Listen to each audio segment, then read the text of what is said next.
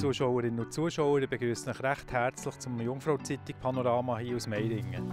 Heute haben wir für euch in der Sendung guten Rechnungsabschluss für die Stadt Thun, neues Theater vom Alpentheater im Kiental, 50 Jahre Jubiläum in der Garage Schöneck.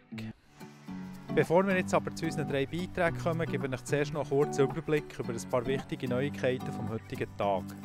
Beat Baume ist neuer Leiter vom Tiefbauamt. Der Gemeinderat hat Beat Baume per 1. November als neuer Leiter vom Tiefbauamt und Stadtingenieur der Stadt Thun gewählt. Schlecht ist das Jahresergebnis seit Jahren. Infolge der Corona-Pandemie hat die Luftseilbahn Wengen Männlich AG einen Verlust von rund 571.700 Franken erwirtschaftet. Das bei einem Betriebsertrag von 2,2 Millionen Franken. Samuel Kreienbühl ist nominiert für das Präsidium der Berner SVP.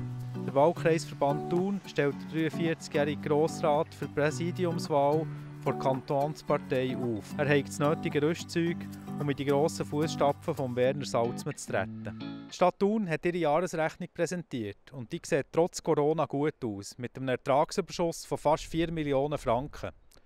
Darum will der Gemeinderat im Moment nichts an seinem Kurs ändern und sind keine Massnahmen geplant. Er tut sich allerdings vorbehalten, wenn es kurzfristig Trendänderungen geben sollte, dass er diese Massnahmen trifft. Wie die könnten aussehen, das hat meine Kollegin Gina Krückel an der Medienkonferenz nachgefragt. Sie haben ja momentan keine Kursänderungen oder Massnahmen geplant, aber Sie erwähnen auch, dass es möglich wäre, wenn es eine neue Trendänderung gibt. Haben Sie sich da schon überlegt, was das sein könnte? Ja, also Massnahmen, wie ihr sagt, haben wir bewusst noch keine äh, geplant oder eingeleitet. Aber was sicher ein Punkt ist, wo wir gefordert sind, sind unsere Investitionen genau anzuschauen und entsprechend zu priorisieren, weil die Investitionen die werden nicht nur im Moment äh, eine Rechnung belasten, sondern und die Selbstfinanzierung weiter äh, kritisch in eine falsche Richtung entwickeln. Sie haben zum Teil ganz klar auch Folgekosten, sei es das dass Personal mehr gebraucht wird oder sie belasten ganz klar auch die Rechnung in Form von der Amortisation von der Investition. Also das heisst, es ist jetzt noch nicht irgendwelche Liste von Projekten, die man dann vielleicht auf Eis legen muss oder sogar eine Steuerwerterhöhung in Aussicht? Nein, absolut nicht, weil wir wollen ja weiterhin eine Finanzpolitik von der ruhigen Hand weiterführen. Das heisst, interessieren wird vor allem die Rechnung vom nächsten Jahr, wie die abschließt, weil wir ja die Auswirkungen von der Covid-Situation auf einmal budgetiert haben, aber dann auch noch nicht wissen, wie sich das wirklich auch präsentiert in den Zahlen. Mehr um Geist als um Geld geht es beim Alpentheater im Kiental. Zehn Jahre nach ihrer ersten Eigenproduktion lanciert die Truppe ein neues Theaterstück mit dem Namen Total Normal. Das Stück zeugt von grossem Tiefsinn, aber auch von Situationskomik und von überraschenden Wendungen. Mein Kollege Patrick Schmid war an einer Probe dabei und hat sich in die Theaterwelt entführen kurz bevor das Stück uraufgeführt wird.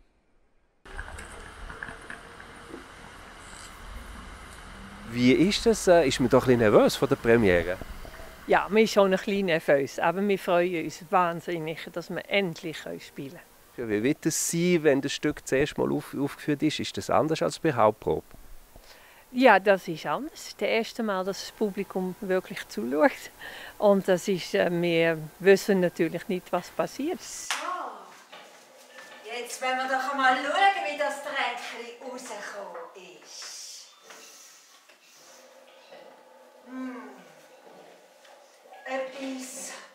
ist dann auch viel zu dominant. Wie könnte man so ein einen Buchklappentext dichten für jetzt das Stück? Ja, das ist sehr schwierig. Also es geht um, was ist überhaupt normal und wer bestimmt, was normal ist. Und ähm, ja, vielleicht sind dann das die zwei Sätze. Der Rest muss man sich überraschen.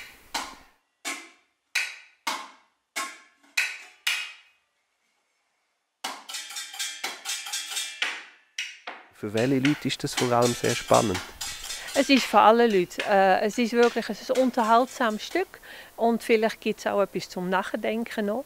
Aber man kann sich köstlich amüsieren und man wird auch Sachen entdecken, die man selber vielleicht auch macht. welchen Humor wird man denn da ein bisschen entdecken zwischen den Zielen? ja, das ist auch wieder eine schwierige Frage.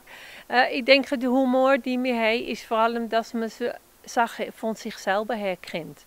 Und wenn man da darum kann lachen kann, äh, dann sieht das Leben eigentlich super aus. normal, auf gar keinen Fall, ja,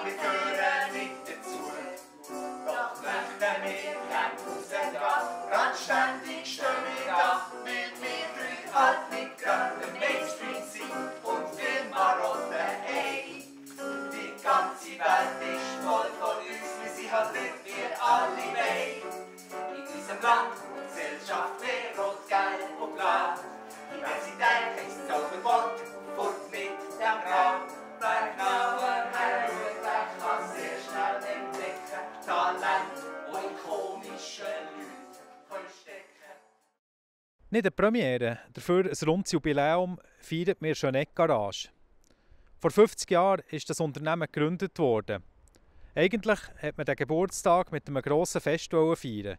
Das ist wegen Corona nicht möglich. Darum gibt es jetzt, verteilt über das Jahr, verschiedene kleinere Aktivitäten und Aktionen zum Jubiläum. Mein Kollege der Ben Abeckle hat mit dem Patrick Burkhardt, dem Geschäftsführer der Jeanette Garage, geredet und ihn gefragt, was das Firmenjubiläum bei ihrer Firma für einen Stellenwert hat.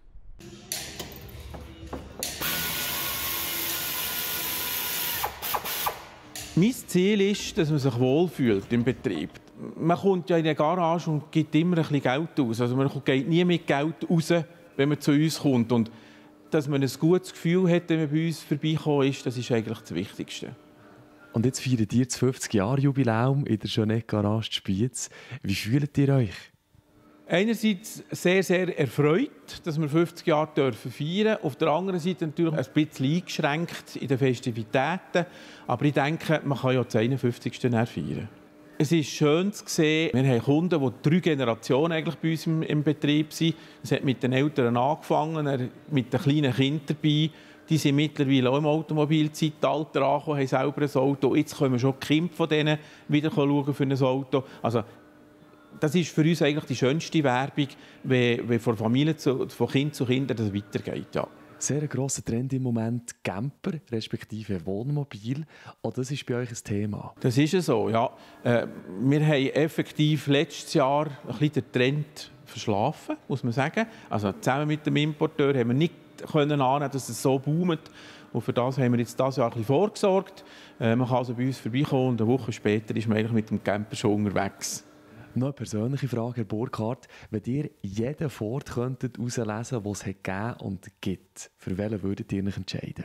Das ist eine ganz schwierige Frage. Weil es hat in den Jahren, wo ich dabei bin, immer wieder Produkte gegeben, wo, wo ich mich drin habe verliebt. Ich als Amerika-Fan äh, liebe mich Ford Explorer, der Plug-in-Hybrid. Und was jetzt noch auf uns zukommt mit der ganzen Elektromobilität, der neue Mustang Mach-E, das ist sicher ich sage es jetzt noch einmal, ein geiles Auto. Ob das Wetter am Wochenende für Festivitäten geeignet ist, das seht ihr gerade im Anschluss bei den Kollegen im Wetter. Ich wünsche euch jetzt schon einen grusamen Abend und eine gute Zeit. Auf Wiedersehen miteinander. Das Wetter wird euch präsentiert von Interlaken Tourismus. Meine Damen und Herren, das ist das Jungfrau Zeitung Wetter für das Berner Oberland. Ganz herzlich willkommen dazu. Der April der hat sich vor allem in der ersten Tageshälfte ganz versöhnlich verabschiedet. Das ist doch noch mal länger sonnig geworden. Wir sehen es hier auf der Webcam von heute kurz vor dem Mittag, aber am Nachmittag die Woche natürlich mehr und mehr zunehmen. Und wenn wir uns den Strömungsfilm anschauen, dann sehen wir, wir sind weiterhin tiefdruckbestimmt unterwegs in der Südwestströmung und dementsprechend erreicht uns auch immer wieder Feuchtigkeit. In der kommenden Nacht ist es stark bewölkt, immer mal wieder nass und dementsprechend starten wir den Mond stark bewölkt in den Samstag. Es ist aber am Vormittag nur gebietsweise nass. Temperaturen die gehen retour am Thuner- und Brienzersee gegen etwa 7 Grad. Das Grindelwald da starten wir mit rund 5 Grad im Tag und das Adelboden da messen Tiefstwert etwa 4 Grad. Am Nachmittag da dominieren weiterhin die Wolken und bis am Abend setzen von Südwesten her verbreitet und zum Teil kräftige Niederschläge ein. Speziell in der Nacht auf den Sonntag kann es richtig schütten. Temperaturen Morgen Nachmittag so um die 11 Grad im Maximum. Zu Grindelwald beispielsweise